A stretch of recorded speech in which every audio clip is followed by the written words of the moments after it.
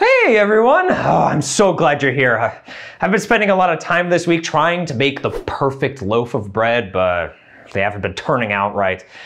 Honestly, my arms are sore from all the dough kneading. I'm worried that if I don't come up with the perfect recipe soon, I might run out of energy or room in my stomach. Ugh.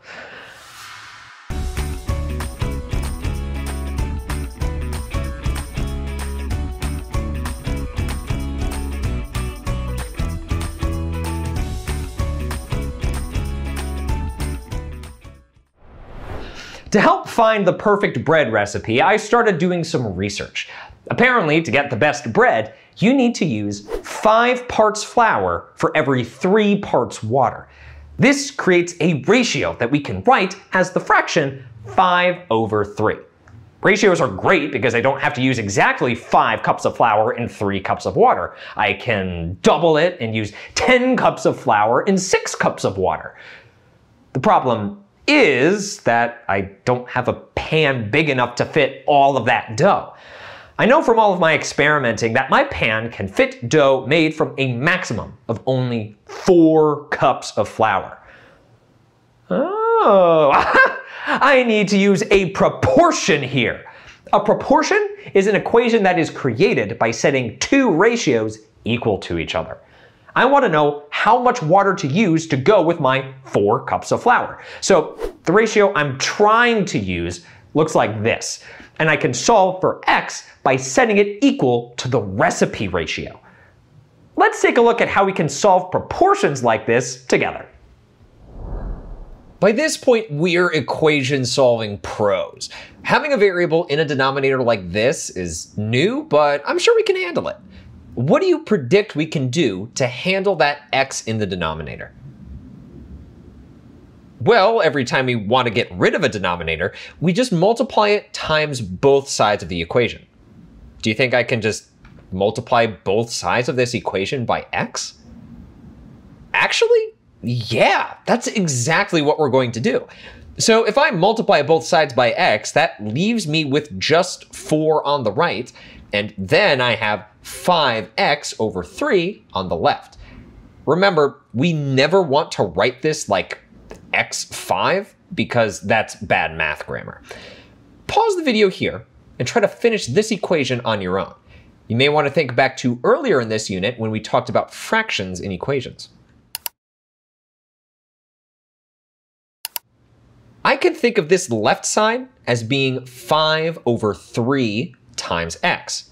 And to get rid of a fractional coefficient, I would multiply by the reciprocal. So I need to multiply both sides of this equation by 3 over 5, since that's what I get when I flip this fraction. On the left, the fractions cancel and leave just x. On the right, I'm going to rewrite 4 as 4 over 1, and then multiply straight across to get 12 over 5. And that's our solution for x. I can leave it as a fraction, or if I want, I can divide it to make it a decimal, which would be 2.4. The decimal form is probably more useful for me with my bread recipe, but sometimes decimals can be repeating and go on forever. It's important to be exact with your answers in math class, and fractions will always be exact even when decimals aren't. So get in the habit of becoming comfortable with fractional answers. Let's take a look at a couple of more complicated proportions with some example problems. In this example, we have to solve for a in the equation 16 over 3a plus 2 equals 4 over 5. We could totally handle this. My goal is to solve for a, and I can't do that if it's stuck in the denominator. So how can I get that whole 3a plus 2 expression out of the denominator?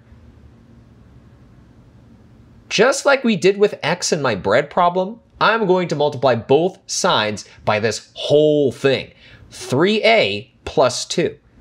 Notice that I put this expression in parentheses on both sides to show that the whole thing is being multiplied. If we look at the left side, we know that if 16 is being divided by 3a plus 2, then multiplying by 3a plus 2 should cancel it out. But if you ever feel unsure that you're taking the right step, we can always write out our scratch work to make sure that this will simplify to 16. Since we know that we want this 3a plus 2 to cancel with the denominator, it's going to be helpful to not distribute it so that we can keep looking at it as one cohesive piece. We can write our numerator as 3a plus 2, all in parentheses, times 16. We can also put the 3a plus 2 in the denominator in parentheses to show that we're grouping them together. Then I can see that with a 3a plus 2 on top and bottom, they will cancel each other out to make 1 times 16, or just 16. On the right side, we can put 3a plus 2 over 1 to make it easier to see that we need to multiply this whole expression by 4. Since we know that 3a plus 2 won't cancel with anything on this side, we can distribute the 4 to multiply both terms to simplify. What will we get when we distribute? That will make this side look like 12a plus 8 over 5.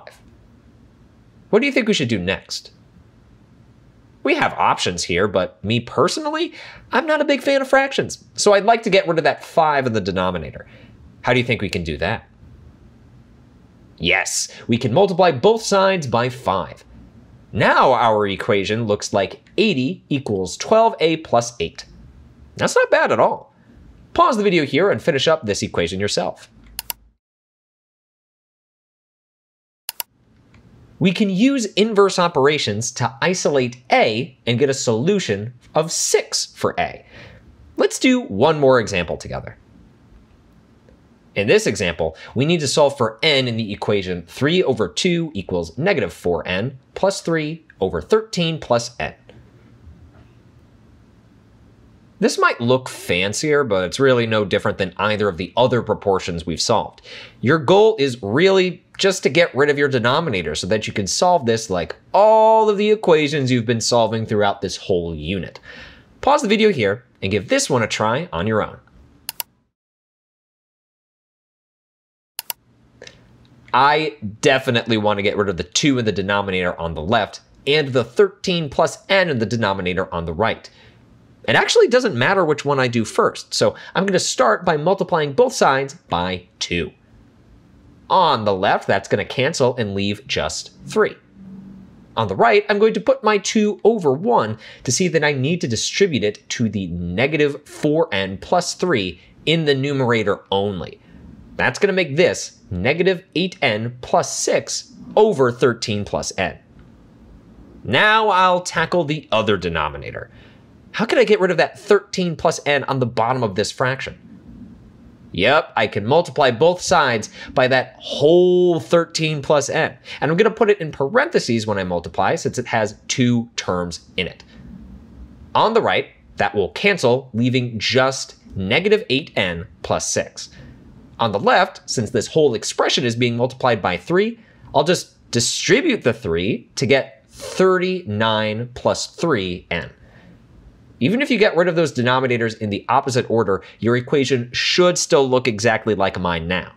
If you were stuck with the denominators before, pause the video here and try to finish off this equation on your own now.